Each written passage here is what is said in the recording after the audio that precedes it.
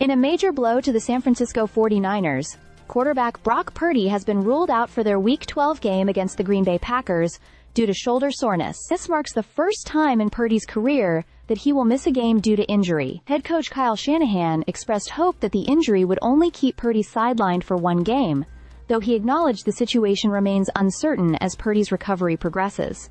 The team will turn to backup quarterback Brandon Allen to lead the offense against the Packers.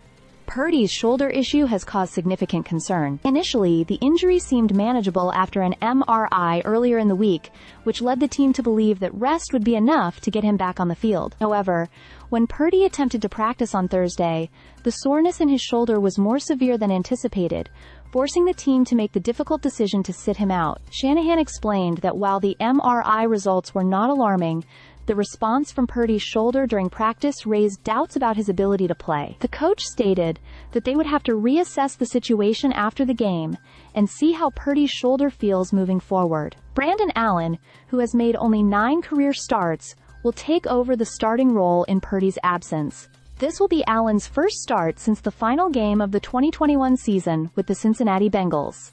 Although Allen is relatively untested as a starter in the NFL, Shanahan expressed confidence in his ability to run the offense effectively. Brandon's a really good thrower, runs our offense well, has done a really good job since he's been here, Shanahan said. The guys believe in him and think he'll give us a good chance to win. The 49ers will also be without defensive end Nick Bosa for the game, which only adds to the challenge facing the team in this crucial Week 12 matchup. Despite these setbacks, Shanahan remains optimistic that the 49ers can continue to compete at a high level especially with the talent surrounding Allen. For Purdy, missing this game is a tough setback in what has been an impressive season so far. Through 10 games, the third-year quarterback has thrown for 2,613 yards, with 13 touchdowns and 8 interceptions, completing 66% of his passes.